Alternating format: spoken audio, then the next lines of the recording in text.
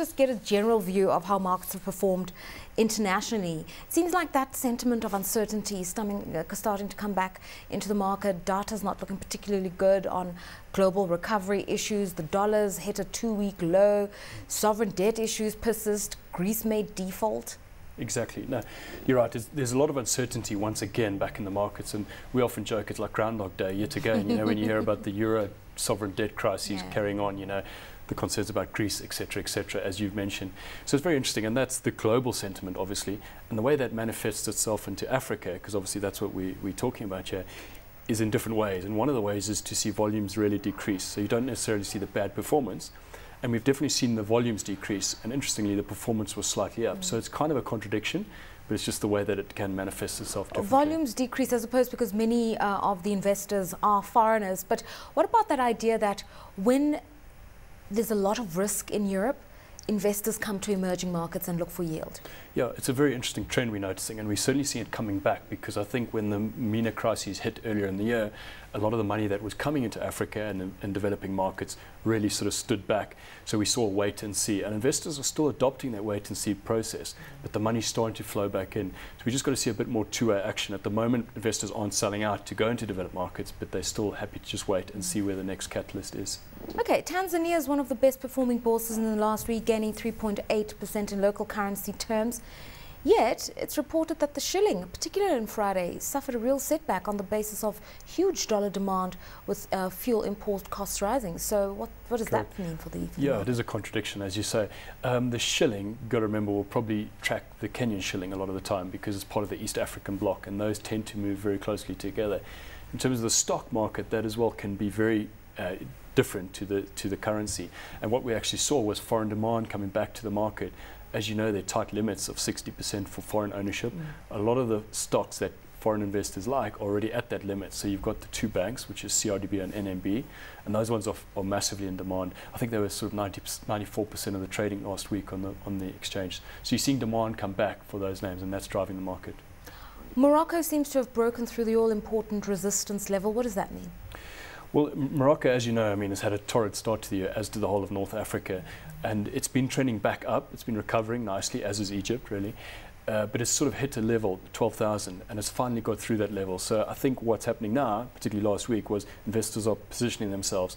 The summer season, which is typically very quiet, yeah. is about to close. So we saw a bit of a rally in the large caps.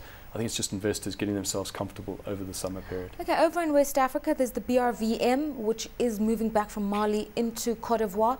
Cote d'Ivoire now officially has a president elected and inaugurated.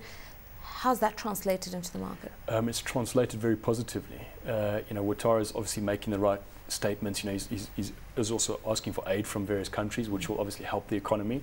But investors are feeling a lot more comfortable politically with the, with the country. The exchanges are actually already moved back to Abidjan, so it is trading there. Mm -hmm. um, and we did see a sell-off when it initially opened a few weeks ago. But definitely it's becoming more positive and investors are getting more, more comfortable. Okay, we just got news today that uh, part of the plans of raising the profile of the BRVM is to introduce a new index for small cap uh, SMEs. Um, mm. What are your expectations for the Ivorian market and how attractive it is to foreign investors? Um, well, obviously we've gone through the uncertainty cur currently, you know, so I think that's a factor that investors will have to get themselves comfortable with over time, you know. It'll be interesting because these are smaller, as you say, SMEs, so they're small and medium sized.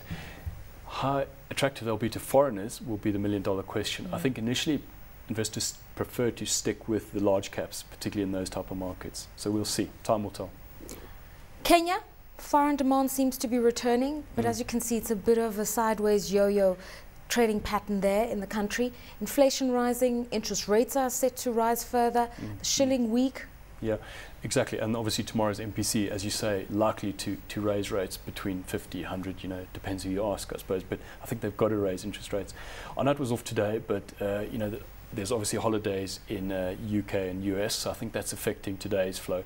Uh, we're seeing demand coming back. You've got to remember in sub-Saharan Africa, it's Nigeria, Kenya, your two biggest. So typically when there flows back into the into the region, it goes into Nigeria and Kenya. And we definitely saw more activity again from, from foreigners last week in Kenya. Nigeria, I mean, volumes fairly low, but local fund managers seem to be active. Now, we've also had there just a, political situation finally becoming clearer for everybody. And this weekend, the president inaugurated. Exactly. And today was a holiday, so it wasn't trading today for the official inauguration ceremonies. I think so. You know, last week there was a, a rate hike of 50 basis points, which was very unexpected. You know, no one really expected that. Uh, it's an interesting market. Volu volumes have been very low, and typically it's the first market that foreigners come into. Foreigners are still involved, but if you look at last week's biggest moving stocks, it was stocks like Multiverse or any NEM Insurance, which is not stocks that typically foreigners play. Worst performers, Mauritius. I mean, recently that stock market was doing fairly well. The stocks mm. were performing. The results were fairly impressive. What's happened since? Yeah, well, over the last sort of six weeks or so, we had a lot of results come out, and they're all fairly good, and there's a lot of positive sentiment around that. And we saw a lot of the rally on the back of that.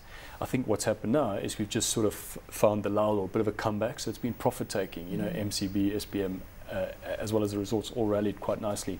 So a lot of profit taking typically in Mauritius, we see a lot of activity around the results, and obviously that was a few weeks ago. Now I think it's going to be quiet for a while, and we'll probably see it again when the, when the next set of results come out. Right, further north, Zambia, we've got a few rights issues coming to the fore, and some of them have investors a bit wary. Why? Mm -hmm.